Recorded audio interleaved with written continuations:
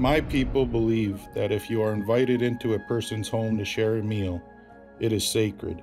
You become family. My name is Tyrrell de Coteau, and I am a member of the Turtle Mountain Band of Chippewa Indians in Belcourt, North Dakota. Growing up on the reservation, we relied on commodities from the U.S. government to live. My favorite was the cheese blocks that we called bricks of gold. It was ironic that something with little nutritional value was named after the most precious metal.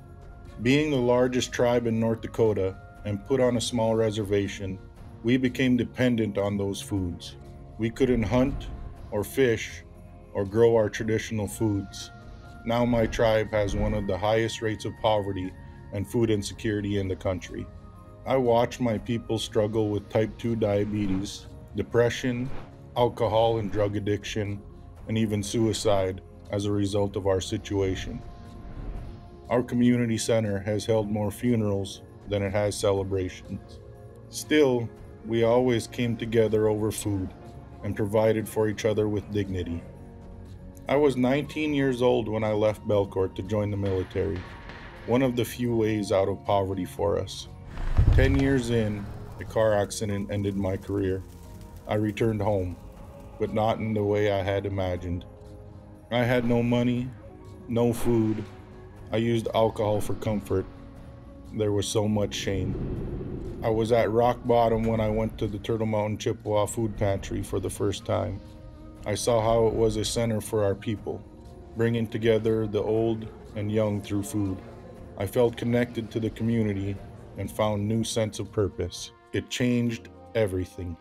I quit drinking and I started volunteering. Soon I was dreaming about ways to make an even bigger impact.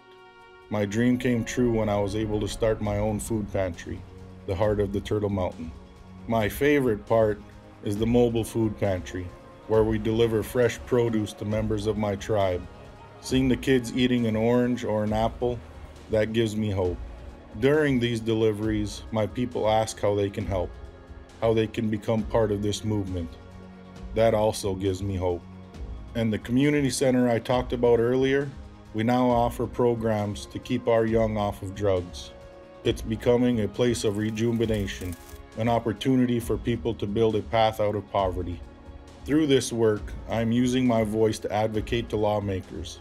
For example, if elders in my community get a small raise in their Social Security, they no longer qualify for commodities. They lose the same amount or more in their SNAP benefits. On my visits to Washington, my people rely on me to tell their stories, and I am honored to do that. I am also making connections with other tribes to see how we can help all our people together. And back home, I'm building a coalition of food pantries across North Dakota. I hope to see you there. Miigwech.